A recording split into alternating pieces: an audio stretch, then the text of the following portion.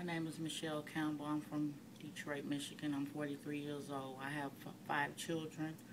Um, and one of the things I find important is that the Medicaid, how they're trying to cut the Medicaid. We need Medicaid. We need that for um, early preventions and different diseases, not just for the children, but for adults as well. And also the Medicare they're trying to cut the seniors need that and people that's disabled. You don't even have to just be a senior. You can be a younger person that has Medicare. And then they're trying to cut Head Start. Head Start is very um, fundamental for ages three to four, and it prepares them for kindergarten.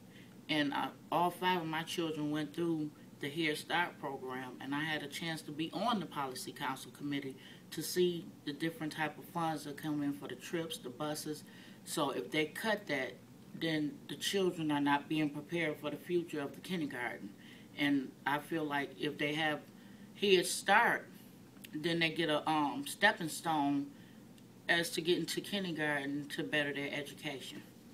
It's going to impact me because I receive Medicare and Medicaid for um, myself and the children.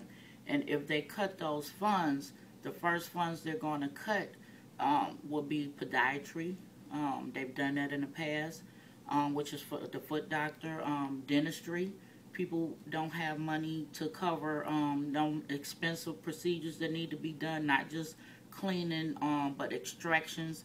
They're very um, expensive. You have two hundred dollars just to get one tooth, or um, a couple of teeth pulled at two hundred dollars per tooth. That's a lot of money. Nobody has that money to pay. So it's very essential that we keep these services um, at reach. I will tell them to look at the um, system more closely because these benefits are very beneficial and we need them all the way across the board from the medication to the mental health.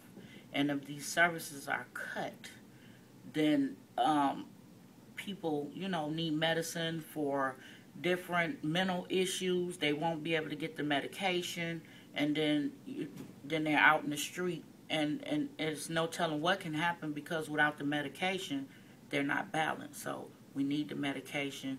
We need um, all the funds. We need all the funds that they're trying to cut. And I, what I would say is look very closely to this once again before you um, make this decision. Representative Bentivolio, we need jobs and not cuts, and to the other politicians.